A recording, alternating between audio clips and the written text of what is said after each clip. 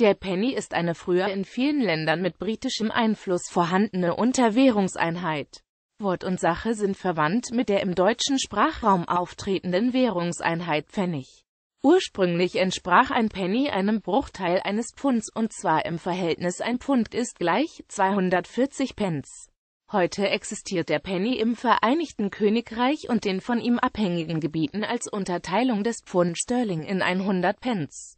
In den USA und Kanada ist Penny die geläufige Bezeichnung eines Centstücks. Mittelalter Der silberne Penny wurde vermutlich in der Zeit um 786 von König Offa von Mercia im englischen Binnenland eingeführt.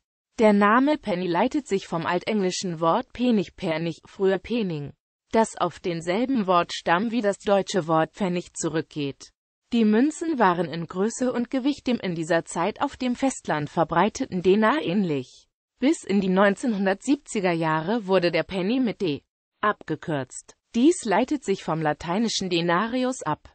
Die angelsächsischen Silberpennies waren auch die Währung, in der das Danegeld bezahlt wurde. Man kann die Last, die das Danegeld damals für England darstellte, gut an der Tatsache festmachen dass mehr angelsächsische Pennies aus dem ersten Jahrtausend in Dänemark gefunden wurden als in England selbst.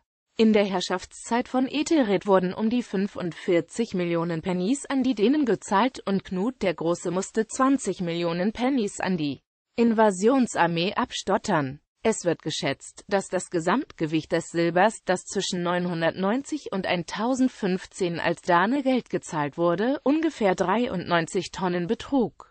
Zu der damaligen Zeit entsprach das 250.000 englischen Pfund. Umgerechnet in den jetzigen Wert dieser Währung ergeben sich 1,2 Milliarden englische Pfund.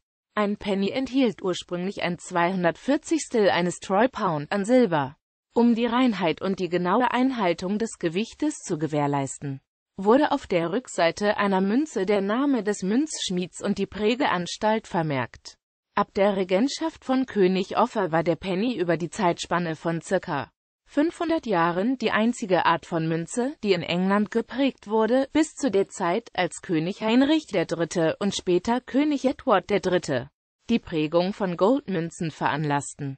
Siehe auch die späteren normale Fating, Schilling, Groat, Florin, Crown, Nobel, Guinea und Sovereign, die Penny mehrfache bzw.